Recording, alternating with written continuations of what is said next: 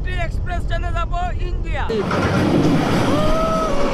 তারপরে গেতে বর্ডারে হয়তো আমাদের চেকিং হবে বিএসএফ রা চেক করবে তারপরে আমরা ডিরেক্ট চলে যাব কলকাতা স্টেশন নিষেধ করার পরেও ওই, মানে না ওনার অধিকার বলে আসলে ভিডিও করবে ইউটিউব করবে कैसा लगा बांग्लादेश अच्छा लगा था बांग्लादेश का आदमी कैसा लगा আজকের ভিডিওতে আপনাদের দেখাবো বাংলাদেশ থেকে ভারতগামী মৈত্রী এক্সপ্রেস ট্রেন ভ্রমণ মূলত এই ট্রেনটি দুই দেশের মধ্যে মৈত্রী সম্পর্ক স্থাপন করেছে। আসলে একই আকাশের নিচে, একই মাটির উপরে থেকে আমাদের পরিচয় আলাদা। আমাদের মানচিত্র আলাদা। এই ভিডিওতে দেখাবো আমার জীবনের প্রথম মৈত্রী এক্সপ্রেস অভিজ্ঞতা। ইমিগ্রেশন কীভাবে করবেন, কত টাকা খরচ হবে? তাই ভিডিওটি শেয়ার করে সম্পূর্ণ দেখার অনুরোধ রইল।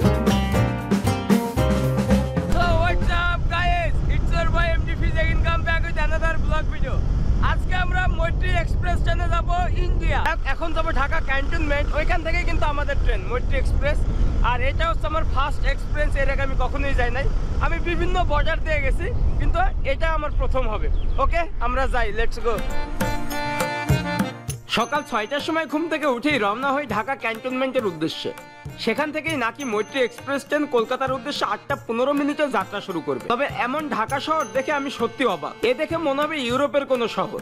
মাথার উপরে মেট্রো রেল এলিভেটেড এক্সপ্রেস হয়ে ফাঁকা রাস্তা সিমসাম পরিবেশ। তাই মোহাম্মদপুর থেকে মাত্র বিশ মিনিটেই পৌঁছে যায় ঢাকা ক্যান্টনমেন্ট স্টেশনে। এসে দেখি আমাদের লাল সবুজের মৈত্রী এক্সপ্রেস ট্রেনটি দাঁড়িয়ে আছে। তবে আপনারা আসার সময় এক থেকে দেড় ঘণ্টা আগে আসবেন। কারণ এখানে ইমিগ্রেশনের লাইনে মোটামুটি চল্লিশ থেকে পঞ্চাশ মিনিট লেগে যাবে। এরপর স্টেশনের সামনে দাঁড়িয়ে থাকা পুলিশের কাছে থেকে ইমিগ্রেশন ফর্মটা চেয়ে নিই। মনে রাখবেন, ইমিগ্রেশনে কখনো কোনো রকমের টাকা লাগে না। এরপর আমি আমার ফর্মটি পূরণ করে বিশাল একটা লাইনে দাঁড়িয়ে থাকি। একে একে সবাইকে চেকিং করছিল। তবে একটা কথা বলে রাখি, আপনার সাথে থাকা ল্যাপটপ ক্যামেরা অথবা ড্রোন এগুলো থাকলে অবশ্যই কাস্টম করে নেবেন। তাহলে পরবর্তীতে আর কোনো সমস্যা হবে না। এরপর ইমিগ্রেশন অফিসে আমার পাসপোর্ট ভিসা চেক করা হয়, সাথে আঙ্গুলের ছাপ এবং কিছু প্রশ্ন করে থাকে, আপনি কি করেন, কেন যাবেন ভারতে? এইগুলো। ইমিগ্রেশন অফিসে পাঁচ থেকে দশ মিনিট সময় লাগে। এরপর চলে আসি স্টেশনে তবে আমার ট্রেনের টিকিট কেটে দিয়েছিল M R tour and travels তাদের প্যাকেজ নেই আমি যাব ভারতের দার্জিলিং। তাই আপনারা চাইলে দার্জিলিং সিকিম সহ পুরো দুনিয়া ট্যুর করতে পারেন এম আর ট্রাভেলসের সাথে। আমি ডেসক্রিপশন লিংকে নাম্বার দিয়ে দেবো যোগাযোগ করতে পারেন। তো ফাইনালি আমরা ইমিগ্রেশন কমপ্লিট করে এখন মৈত্রী এক্সপ্রেস ট্রেনে যাব কলকাতায়। ফাইনালি এখন মৈত্রী এক্সপ্রেস ট্রেনে উঠলাম।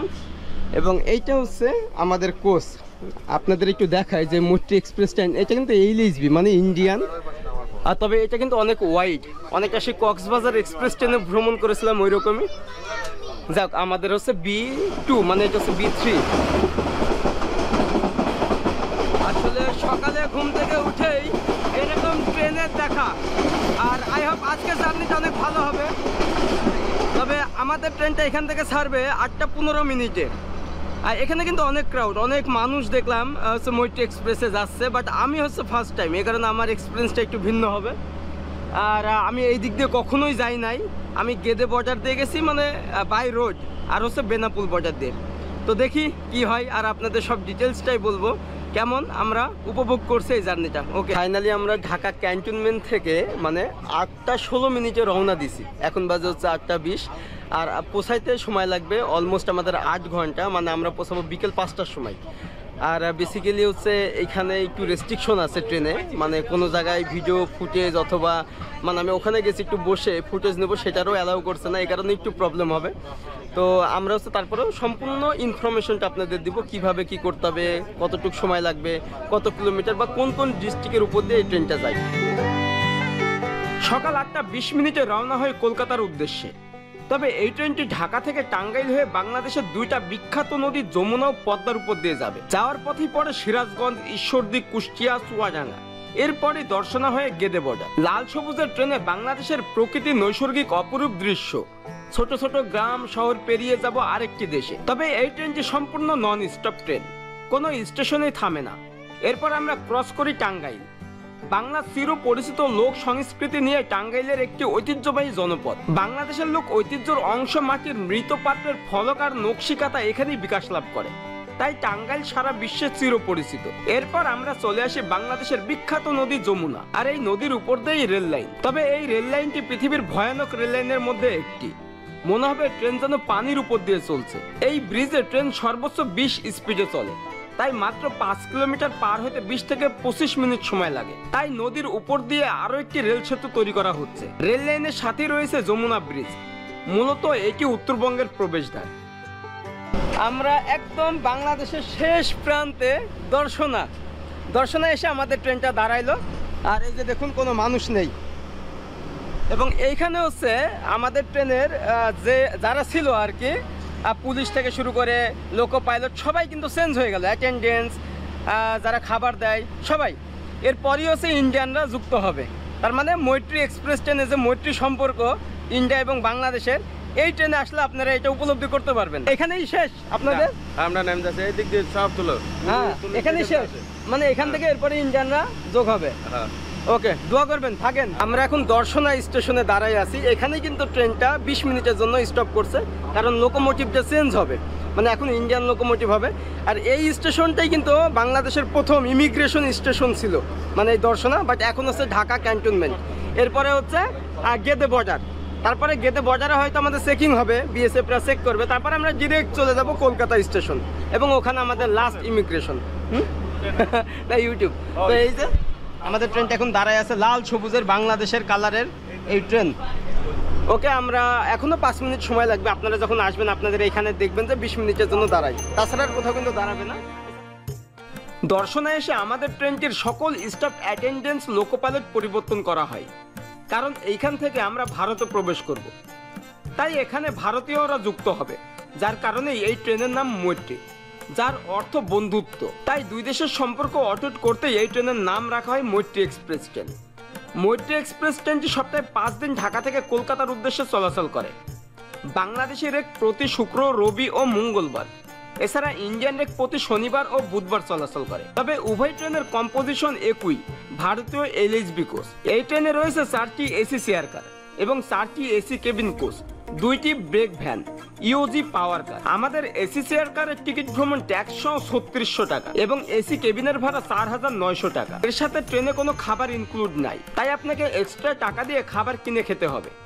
তবে এই ট্রেনের টিকিট কোনো দোকান থেকে কাটা যায় না। আপনাকে নিজে যেয়ে কমলাপুর স্টেশন থেকে টিকিট কাটতে হবে। অথবা আপনার পাসপোর্ট কুরিয়ারে পাঠিয়ে আপনার কোনো রিলেটিভের মাধ্যমে টিকিট কাটতে পারেন। এক্ষেত্রে পাসপোর্ট ভিসা থাকলেই টিকিট পাবেন। মৈত্রী এক্সপ্রেস ট্রেনের সিটগুলো বেশ কমফোর্ট। এর সামনে টি টেবিল রয়েছে। পাদানির সাথে কোনো কিছু রাখার নেট এবং পানির বোতল রাখার ব্যবস্থা আছে। এছাড়া লাগেজ রাখার জন্য উপরে পর্যাপ্ত জায়গা আছে এবং ট্রেনে পড়াশোনার জন্য রিডিং লাইটও আছে এবং এর টয়লেটগুলো সব বায়ো টয়লেট। বেশ পরিষ্কার পরিচ্ছন্ন।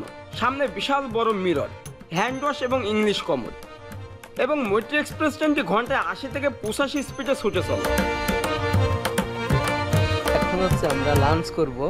মানে ট্রেনে, মৈত্রী এক্সপ্রেস ট্রেনে, আর এটা হচ্ছে ট্রেনেরই। আমি আপনাদেরকে দেখাই যে কেমন খাবারটা।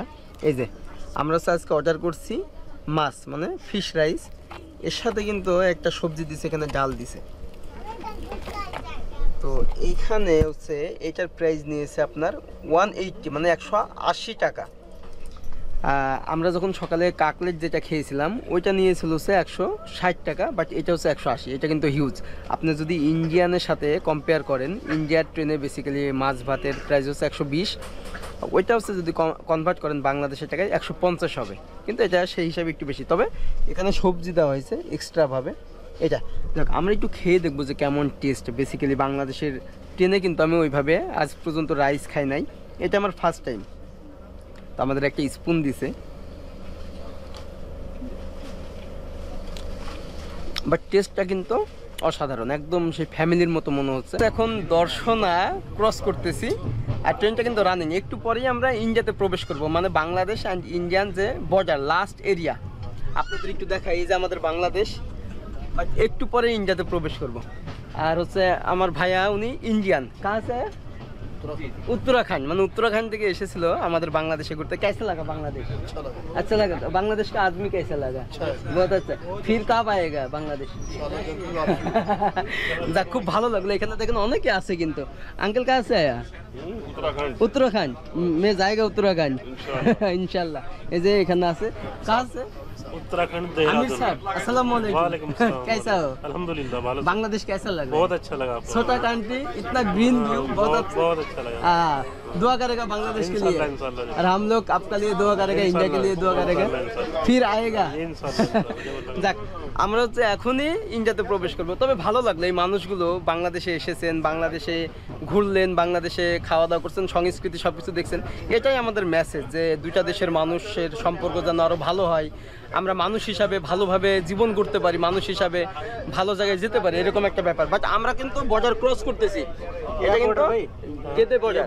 হ্যাঁ, পয়েন্ট দিয়া A point A white colour হ্যাঁ।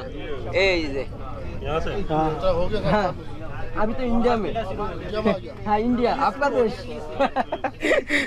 মানে আমাদের দেশ থেকে এখন ইন্ডিয়াতে প্রবেশ করলাম।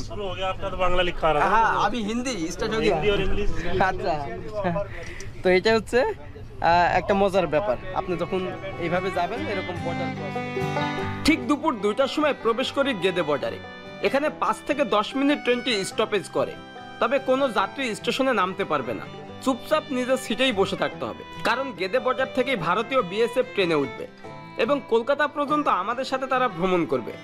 ট্রেনের প্রতিটি যাত্রীর হাতে দেওয়া হয় ভারতের ইমিগ্রেশন ফর্ম আপনি চাইলে ট্রেনের মধ্যেই ফর্মটি পূরণ করতে পারেন। অথবা কলকাতায় ইমিগ্রেশন অফিসেও পূরণ করতে পারেন। ফর্মটি পূরণ করার নিয়ম প্রথমেই আপনার পাসপোর্ট অনুযায়ী নাম লিখবেন। এরপর জন্ম তারিখ পাশেই পাসপোর্ট নাম্বার এবং ফ্লাইট নামের জায়গায় ট্রেনের নাম্বার। সাথে কোন ডেটে ভারতে প্রবেশ করছেন সেটা লিখবেন। তারপর ভারতের কোথায় যাবেন অথবা কোন হোটেলে উঠবেন সেই হোটেলের অ্যাড্রেস। নিচে বাংলাদেশের মোবাইল নাম্বার। এরপর আপনার সিগনেচার। যাই হোক, সবকিছু ঠিকঠাক করে আমরা গেদে বর্ডার থেকে দুই ঘণ্টার মধ্যেই বিকাল চারটার সময় পৌঁছে গেলাম কলকাতা স্টেশনে। এখন বাজে বিকেল চারটে, আর চারটার সময় আমরা পৌঁছালাম কলকাতা স্টেশন। এবং আমি যখন প্রথম কাশ্মীরে গেছিলাম, এই কলকাতা স্টেশন থেকে গেছিলাম, এটা আমার সেকেন্ড টাইম তো এখন কিন্তু সবাই এক্সিট হচ্ছে। এখানে আমাদের ইমিগ্রেশনটা বাকি আছে। ইমিগ্রেশনের সময় কতক্ষণ লাগবে জানে না, যেহেতু আমার ফার্স্ট এক্সপিরিয়েন্স কলকাতা স্টেশনে ট্রেন থামতেই এক হট্টগোল লেগে যায়। কে কার আগে নামবে, এই নিয়ে চলে দৌড়াদৌড়ি। আমি নামতে নামতে দেখি সবাই আমার সামনে লাইন হয়ে গেছে। আসলে আমার থেকেও চালাক সবাই। আমি নিজেও জানতাম না এত বড় লাইন হবে। কি আর করার? এরপর প্রায় এক ঘণ্টা লেগে যায় আমাদের লাইন সহ ইমিগ্রেশনে। তবে ভারতের ইমিগ্রেশনেও সব কিছু চেক করা হয়। আপনার লাগেজ ব্যাগ খুলে চেক করবে। তাই একটু দেরি হয়। ইমিগ্রেশনের ভিতরে রয়েছে মানি এক্সচেঞ্জ।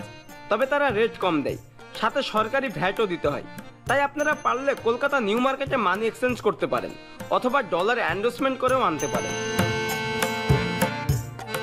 আমরা এখন কলকাতা স্টেশন মানে সিদ্ধপুর স্টেশন থেকে বের হচ্ছি। এবং আমাদের টোটাল সময় লাগছে দেড় ঘণ্টা। একদম চারটার সময় আমরা স্টেশনে নামছি, এরপরে চেকিং তারপরে হচ্ছে লাগেজ চেক ইমিগ্রেশন সব কিছু মিলে দেড় ঘণ্টা মানে এত লাইনটা ছিল। আর এই যে স্টেশন, কলকাতা স্টেশন, আর ফ্লাগ উঠতেছে। তবে আপনারা হচ্ছে এখানে আসলে দুই রকমের ট্যাক্সি পাবেন। একটা হচ্ছে সরকারি ট্যাক্সি, আর যেটা হচ্ছে আপনারা এখান থেকে নিউ মার্কেট বা মার্কিউ স্ট্রিটে যায় তিনশো বা আড়াইশো এরকম। আর একটা আছে পাবলিক, ওটাতে কিন্তু ভাড়াটা একটু বেশি। মানে অলমোস্ট আপনার সাতশো, আটশো রুপি এরকম মানে ডিমান্ড করে। যাক, এখন এখান থেকে আমরা ডিরেক্ট যাব সল্ট লেক মানে আমার বাসায়। এখান থেকে আমি বাইকে চলে যাব বাট আপনারা আসলে হ্যাঁ। ওকে তবে গাইজ এই জার্নিটা আমার খুবই মানে একটা অন্যরকম এক্সপিরিয়েন্স হয়েছে। মানে খারাপ দিক, ভালো দিক সব কিছু মিলিয়ে, আর আমি এই পথ দিয়ে এর আগে কখনো আসি নাই। তবে নেক্সট টাইম আর কোনো দিন মৈত্রী এক্সপ্রেসে এখানে আসব না মানে এরকম একটা ব্যাপার। এবং ভিডিওর জন্য বিশাল একটা রেস্ট্রিকশন ছিল। আমি মূলত মৈত্রী এক্সপ্রেস ট্রেনে ভিডিও করার জন্যই আসলাম। আর তাছাড়া কিন্তু আমার কোনো রিজন ছিল না বাট ওই সুযোগটা আমাকে একেবারে দেওয়া হয় নাই। যাই হোক নেক্সটে আমরা প্ল্যান করছি অন্য কোনো একটা রাজ্যে যাব একটা নতুন রাজ্যে। আর সবাইকে একটা রিকোয়েস্ট করব, আমার চ্যানেলটা প্লিজ সাবস্ক্রাইব করবেন, পাশের বেলাইকনটি ক্লিক করে রাখবেন। নেক্সট ভিডিওর জন্য। ওকে দেখা হচ্ছে বাই